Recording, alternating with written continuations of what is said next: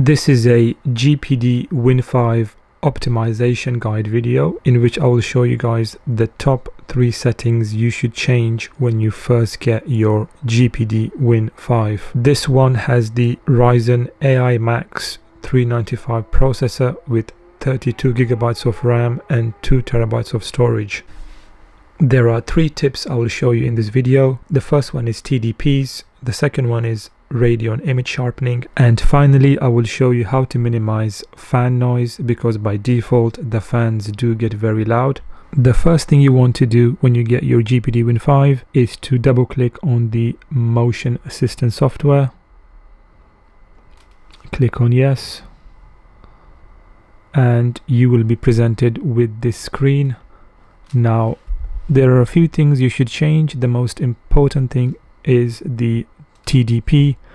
So on the left here you can see AC TDP and DC TDP. So AC refers to the power connected and DC refers to the power detached so when you're running on battery so right now I'm running on battery and as you can see by default the DC TDP is selected I can't select the AC TDP now because there's no power however when you connect the power the AC TDP will highlight now what you want to do here is that you want to select the correct TDPs for both of these modes. So for DC mode, in other words the battery mode, you want to select the correct TDPs. So by default they have chosen 15 watts for the DC which is quite low. So what you want to do is you want to click on here and then write down your own number. So what I will do is I will put 35 watts because I think on battery 35 watts is very nice. However, if you just want maximum performance and you don't care about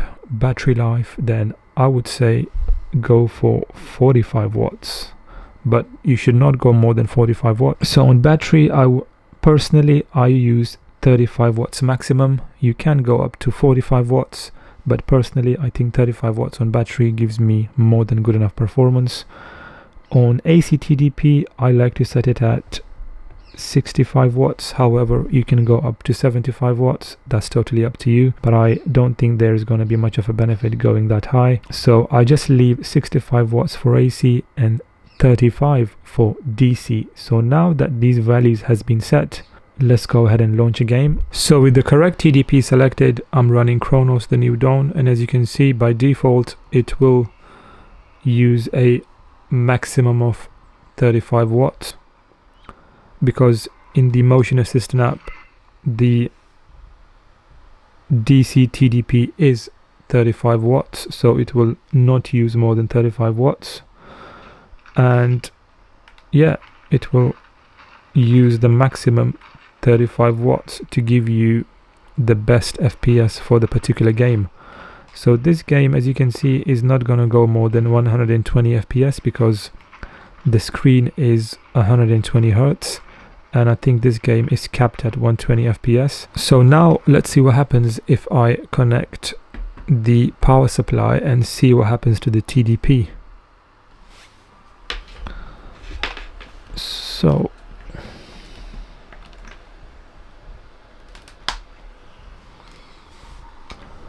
So when I connect the power supply, as you guys can see, the TDP will automatically go up to 65 watts because remember in the motion assistance software the AC TDP was set to 65 watts.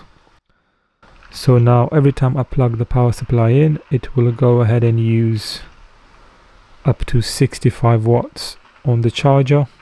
So once these values has been set you don't need to like keep going back to change the TDP now I will unplug the power supply. And it should go back to 35 watts. So as you guys can see it is dropping Now unfortunately it looks like it is stuck at 45 watts. It's not going below, well 43.8, 44.8. Basically what happens is when you unplug the power supply, the even though you set it to 35 watts, it will stick to around 45 watts, which is more than you need. Even 35 watts for this game is way too much. So one way to fix this issue is to open the motion assistant software and make sure that the auto limit TDP option is selected because right now it's not selected. So I'm just gonna select the auto limit TDP and this should as you guys can see it has already optimized the TDP to 35 watts. So make sure that this option right here is always selected because this will auto limit the TDP and you don't have to like go back to it manually so now I'm getting the same FPS as before however I'm getting much lower TDP. For the second tip, AMD Radeon image sharpening is a very good tool to use. This is one of the first things that I always do when I get any PC handheld. If it's running AMD, I always open the AMD software and in here what I do is go to gaming and then scroll all the way down where you can see Radeon image sharpening. By default this option is always turned off. So what you want to do is make sure you turn it on. And I usually keep it at 100% so now every game that I run will look much sharper. Even though this game is running at 720p it actually looks very very sharp. And it actually looks like it's running at 1080p so that's a really good benefit of using RIS because RIS Radeon image sharpening it sharpens the game to make it look like it's running at a higher resolution. So this is with RIS on. Now what I will do is to show you guys the difference is I'll just go back to the software and turn RIS off show you guys you know what it looks like. So Radeon image sharpening has been turned off as you guys can see and this is what the game looks like. It, it does look a bit blurry. So what I will do now is if you guys look at this part of the screen I will turn image sharpening on. Now I can see it's much sharper now because it's on and I'll turn it off. And it's definitely much blurrier. If you look at the wall and the character and the painting just look at this area here. It's looking a bit blurry now because it's off and now it's so much sharper. So make sure that especially if you're running at lower resolutions make sure this option is always turned on because this does not affect performance at all. So if you're thinking that this will affect your performance you don't have to worry because this will not affect the performance. It will just make the image look much much better. So always leave this on for every single game to get the maximum sharpness the third tip is about the fan speed, the fan noise. Let me turn the volume down so you can hear the fans. So by default, when you get the GPD Win 5, the enable fan speed option is not selected. And by default, the fans do get quite loud, especially at high TDPs. Right now, I'm running at 35 watts, so let me go ahead and increase it to about 45 watts.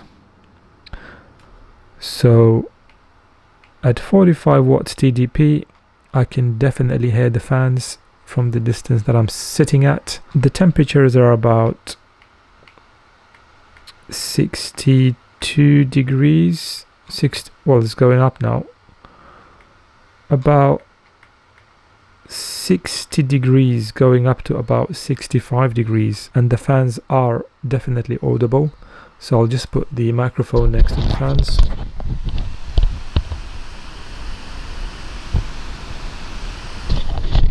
So the fans at 45 watts are quite loud and personally I don't like the fan noise. So what I do is I will open the motion assistant software and then I will click on enable fan speed and then I have my own custom fan curve.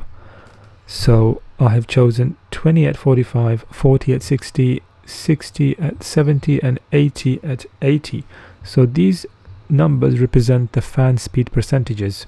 So with these custom values the fans will be much much quieter with not that much effect on the temperatures. So right now with these custom values I can tell you the fans are so much quieter, you know?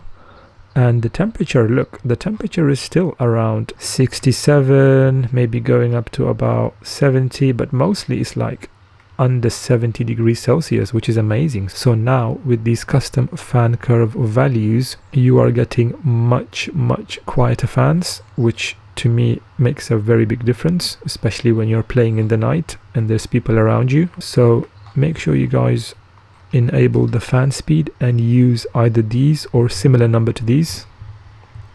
So this way you will get the quietest fans without much of an effect on the temperatures. The cooling by the way guys on the GPD Win 5 is much better than expected so you can definitely get away with you know using custom values like I have done in this video. So that's it for this video guys. Make sure you like and subscribe and comment down below and let me know if you want more tips. Thanks for watching and I'll catch you in the next one.